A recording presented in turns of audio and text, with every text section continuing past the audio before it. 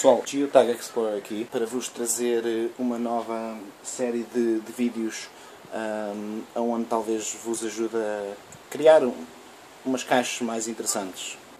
Ok, o que eu tenho aqui, como veem, é um simples frasco de Vicks Vaporub.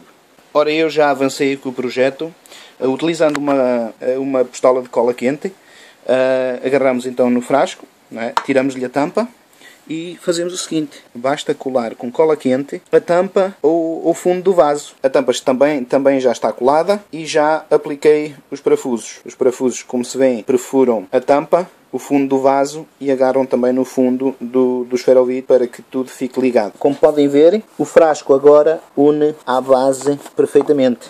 Bom, tenho a caixa terminada. Uh, Vou-vos só mostrar onde é que ela fica para verem para verem o, o, o resultado da caixa final. A dica diz, cuidado, não molhes os pés.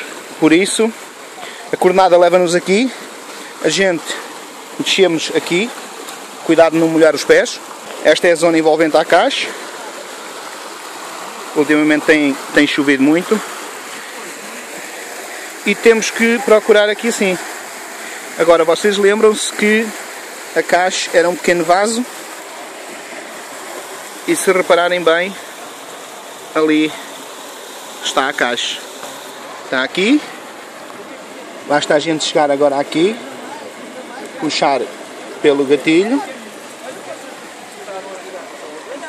E aqui está a caixa. Basta serem criativos e conseguem-se fazer umas coisas diferentes. Lá dentro, como dá para ver, pus um pequeno tubo para que a caixa se mantenha limpa. A caixa vai agora para o sítio dela. Pronto. Ocultamos ali o gancho. Mete-se assim as plantas por cima. E ali está a caixa. Pessoal, sejam criativos e coloquem umas caixas engraçadas para os outros encontrarem. Ok?